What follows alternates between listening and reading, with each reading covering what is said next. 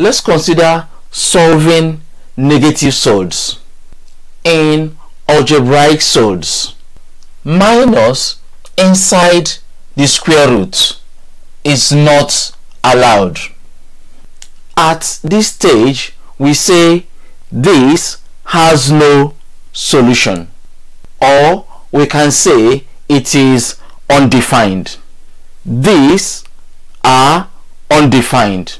Negative surds do not exist.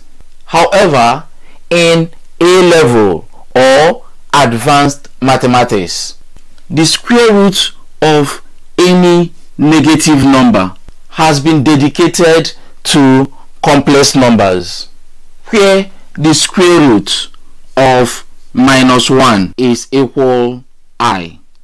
For example, for the complete video course on this subject, click the link in the description or in the pinned comment section.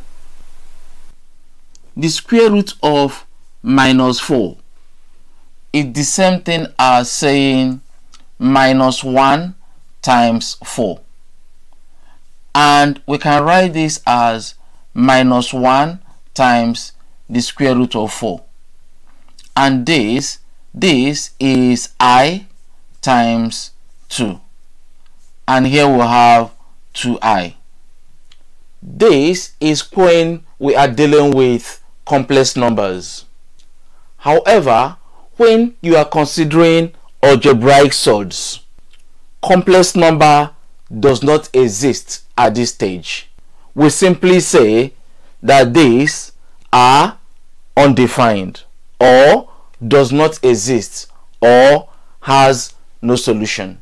But in A level and advanced mathematics, it has a solution where R is any real number and these are real numbers. Likewise, it's important to mention here that the square root of minus 2 plus the square root of 2 is not the same as the square root of 2 plus the square root of 2 when dealing with surds.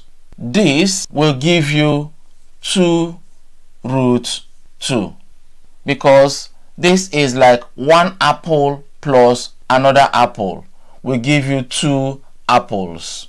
But this has no solution because of the presence of this.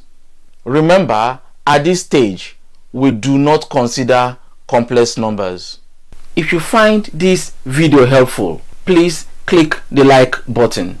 Also, subscribe for more videos like this. I will see you in the next video.